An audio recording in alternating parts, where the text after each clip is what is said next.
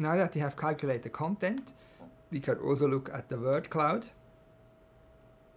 And then we will see what the topics are that people are talking about most. And it seems about meeting and presentation and keeping the time. Um, the color shows how positive or negative and um, word is used in the context. The darker the green, the more positive. The darker the red, the more negative. Not, nothing is really red here. And if something is black, like network, it's neutral. I can always click on it, and then I see um, what the content is, and I can see out of all messages, there are 50 positive, 23 neutral, and 59 negative messages, and you have 132 appearances. So here we have a problem, and the problem is not so positive, so we have 191 problems, and 58 have been positive, 58 neutral, and 75 negative. Or we can look at Condor and the context of Condor and look at those details.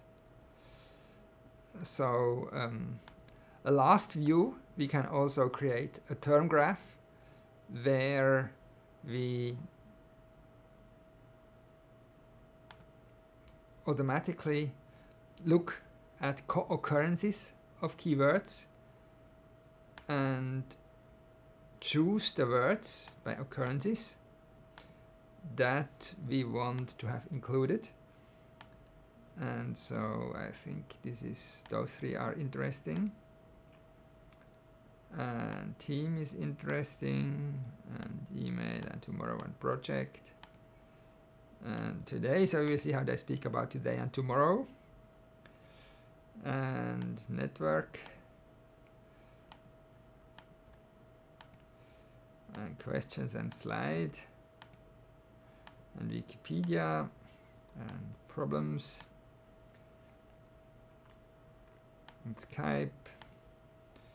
We did a project for BMW so once we have that those keywords we have a network that we can again look at statically and look at the words that we have selected.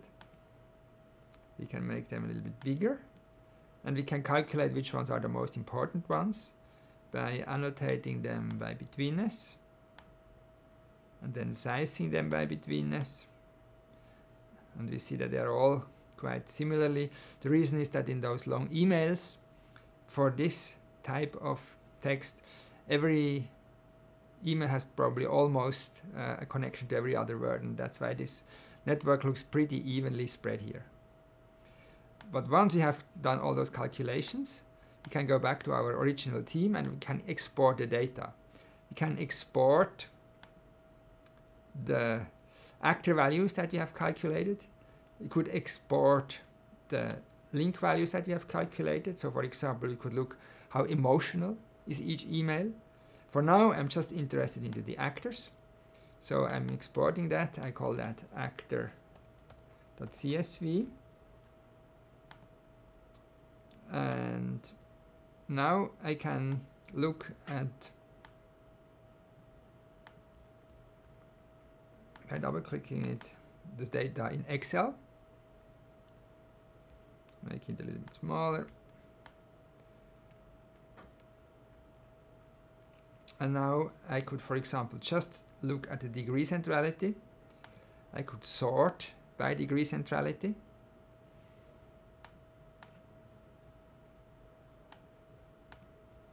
from largest to smallest. And now I could, for example, look at the degree centrality distribution by just choosing it. Goes down to here. And now when I say chart, I will see how the distribution is.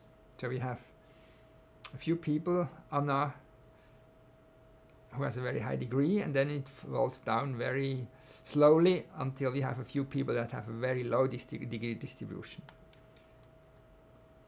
Or we have also now the individual values for each person and can analyze it accordingly. Back to Condor We also have the option to export data into MySQL or to export time series. For example, we can look at how betweenness centrality changes over time of the people. So I call that ABC. And now when I export this, of course I don't want it from 2015, I want it from 2013. Um, I think it was October 1st, 2013 to 2014. And I will take the days, I will not take the history, I will take a sliding time window of 15 days. And now it will export me that data and when I open it I can now look at those time series and you might have remembered that Anachronas is the most active one but no this is the actor file. I don't want to look at the actor file. I want to look at the actor betweenness centrality. Here it is. So here we have the values. So in the beginning it was probably pretty empty so I can delete the first few days. But now I can for either pick a random day and just sort by that day or I can pick a few actors and see how their betweenness centrality is developing over time. So I just take a few and go to the very end. now when I say curves, I will see how that develops. And so at one glance we see that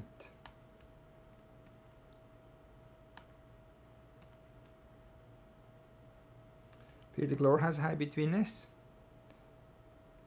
and this we don't know who that is because the name was empty but we can delete the node name field and take the user ID field then we will get all the names. So I go back here I take that. I could choose more, even more. And now when I look at the chart again now I have all the names. Now we will see who those people are. Peter Anachronast. She's very central in the beginning. Now we know why she was so central later on. And here we have other people that are at some points along the time axis in the seminar, the most central ones. So we also have the option to just export the dataset properties, which will be a few values per dataset. So um,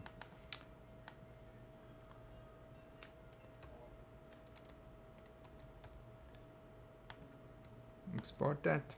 Now when I look at that, this is mostly useful for statistics because we can quickly calculate values here of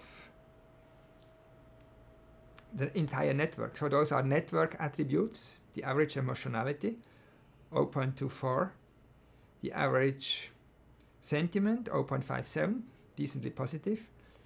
How many nudges? 1.35, that is not too bad. Um, the complexity is 5, so it's reasonably complex. It's not a very central network. The betweenness centrality is 0.37 and average response time in hours. It took on average 19 hours to answer an email, which is not bad neither.